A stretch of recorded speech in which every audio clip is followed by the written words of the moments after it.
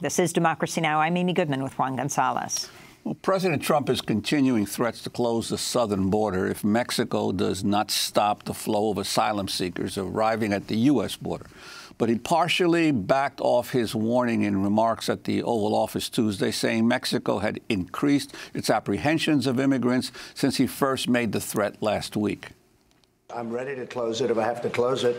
Mexico as you know, as of yesterday, has been starting to apprehend a lot of people at their southern border, coming in from Honduras and Guatemala and El Salvador, and they've uh, they're really apprehending thousands of people. And it's the first time, really, in decades that this has taken place, and this should have taken place a long time ago. Trump said uh, he would 100% follow through on his plan to close the border if no deal was reached with Congress on immigration. He also said he wanted to, quote, get rid of judges in immigration cases. Economic and policy experts warn a border closure between the U.S. and Mexico could result in billions of dollars of losses to the economy by disrupting trade and the daily flow of goods and people between the two countries. Members of Trump's own administration have expressed concerns with the possible closure. A Senate Majority Leader, Mitch McConnell, said closing the border would be, quote, catastrophic. But Trump said Tuesday he was willing to shut the border anyway, saying, quote, security is more important to me than trade. On Monday, Mexican President Andres Manuel Lopez Obrador said his administration would help regulate Central American migrants passing through Mexican territory to the United States. Me pidieron I was asked to be prudent, and I think that's the best thing. To have a policy of friendship with the U.S. government, a relationship of good neighbors with the U.S. government, and to act with a lot of caution, to not get hooked in a confrontation in a row. Claro. Tenemos que ayudar. Of course, we have to help because Central American migrants pass through our territory, and we have to bring order to that migration so that it's legal and at the same time for human rights to be protected. So that's where we are at. But let's stay calm. The thing is, we would enter into this dynamic, and I prefer love and peace. Of course, I take it seriously that we should act with caution. As Trump's border showdown continues, we turn to look at the first 100 days of the presidency of Mexican President Andres Manuel Lopez Obrador, Mexico's first leftist president in decades. In Mexico City, we're joined by Humberto Beck, a professor at the College of Mexico, co-editor of The Future is Today, Radical Ideas for Mexico. Welcome to Democracy Now!, Humberto Beck. Um, can you talk about both what AMLO is saying about the border, how he's dealing with President Trump, but most importantly, what these four months of this presidency of Andres Manuel Lopez Obrador have been about. Sure. Thank you for having me. Well, uh, I think Lopez Obrador uh, doesn't want to confront Trump openly, uh, but he's trying to uh, mm, create some uh, bridges of cooperation with other aspects, other dimensions of the U.S. government. For example, he uh, had a meeting recently with a U.S. congressmen uh, about the possibility of creating some kind of uh, inversion program uh, in southern Mexico and Central America. I think that's what he wants to do because he's not really trying to stop the flow of migrants because he knows, even though he doesn't want to acknowledge it openly because he wants to avoid this confrontation with Trump, he knows that sending back migrants to Central America is sending back these people to um, unlivable situation because of violence. Uh, so I think that what he wants to do is just not to confront Trump openly, try to uh, work in some kind of cooperation program with the US and try to create what could be, if it is ambitious enough, some kind of Marshall or new Marshall program, but, but Southern Mexico and Central America.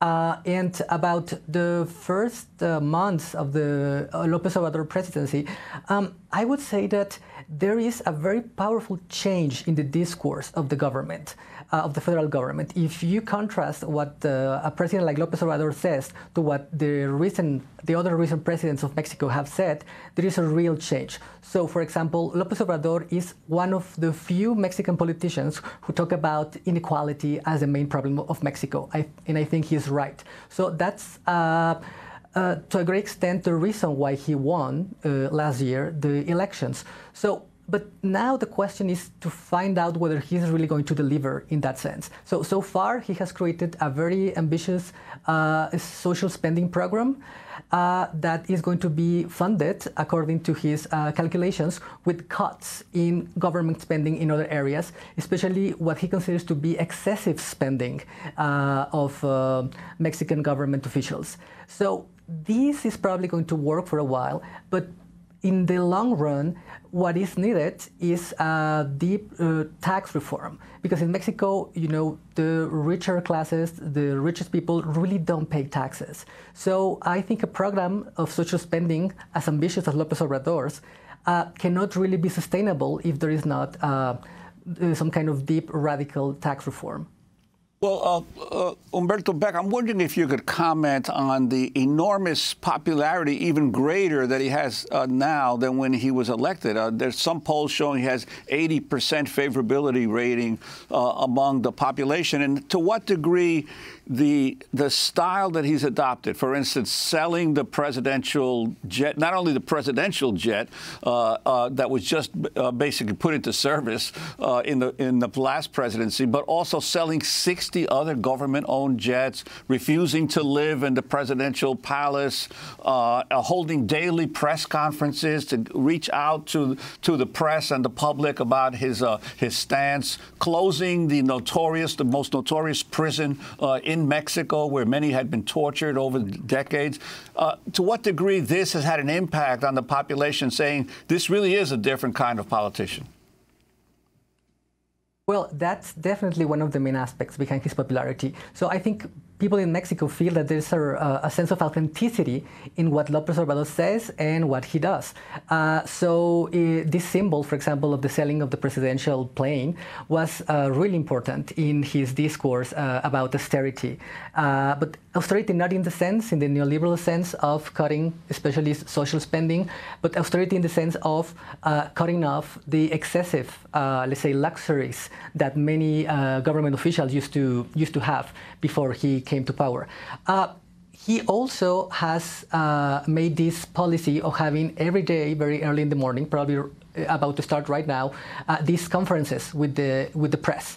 Uh, so this is also a very important change because uh, the previous president, Peña Nieto, almost practically never had uh, a free, open, spontaneous encounter with the press. So uh, López Obrador has changed that, and so this I think uh, adds up to this sense of authenticity that he can that he displays, uh, and that is really perceived by the by the Mexican public. However, I think there are a couple of issues that might turn problematic in the in the next years. So, for example, there has been also uh, an important change in discourse about security and about the fight against crime. But the concrete measures that this new government is about to adopt are ambivalent in that sense. So there might be a clash between the sense of the discourse that the president has adopted and the actual implications of the policy, such as the creation of this called uh, so-called National Guard that uh, supposed to be a hybrid between military and civilian uh, elements, but that leaves open the door for a continuation of the policy of militarization that has characterized Mexico in the last 12 years. This has created a great toll in human suffering uh, through uh, uh, the disappearances of uh, tens of thousands of people, the murder or killing of hundreds of thousands of people, and uh, a large amount of human rights abuses on the part of uh, the military in Mexico. Um, the issue of the killing of journalists, I think we're up to maybe the fifth um, journalist, a radio journalist, Omar Camacho, who was just killed in Sinaloa, uh, the targeting of them and what AMLO is doing about this? Well, I think uh, he acknowledges the problem, but he hasn't really addressed it uh, in a specific way.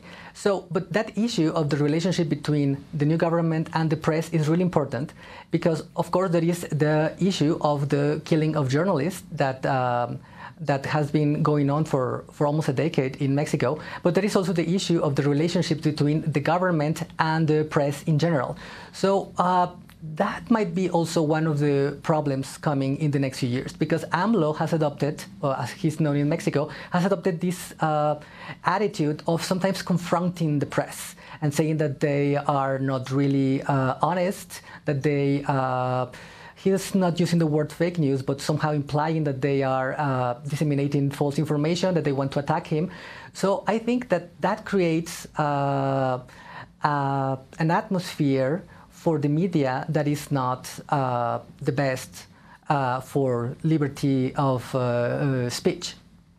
I want to ask you about his labor policy uh, as well, because one of the things uh, that he, he did was uh, he doubled the minimum wage in the in the uh, uh, in the northern border areas. Uh, that led that led very soon afterwards in the, many of the maquilas to strikes by workers demanding sharp increases in, in wages. And surprisingly, the government remained neutral because I remember back in the days of Salinas or even Zedillo, uh, if workers went on strike, especially in the foreign-owned maquilas, the government would intervene uh, and uh, even arrest strike leaders at the time. But at least the government at this stage remained neutral. How has he been seen in terms of his labor policy so far?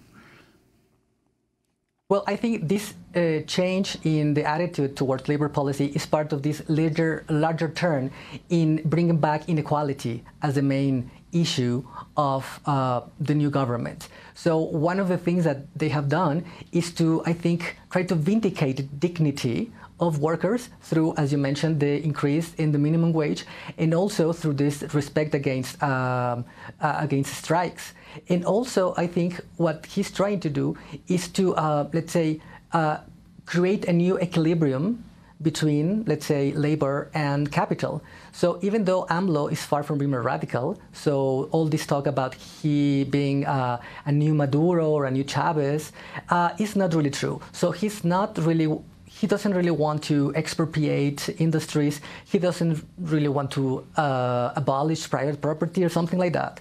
Uh, but he really wants to uh, create this, as I mentioned, this new equilibrium between the uh, factors of production. Uh, and so I think uh, there is a real opportunity there of increasing the quality of lives of workers in Mexico. However, there are also in that area some aspects that are uh, that we might become source seconds. of trouble in the future. So, uh, so uh, sorry. We have five seconds. Uh, uh, the so, for example, uh, actually, Humberto Beck, we'll have to leave it there, but we're also going to do an interview in Spanish at democracynow.org. I'm Amy Goodman with Juan Gonzalez.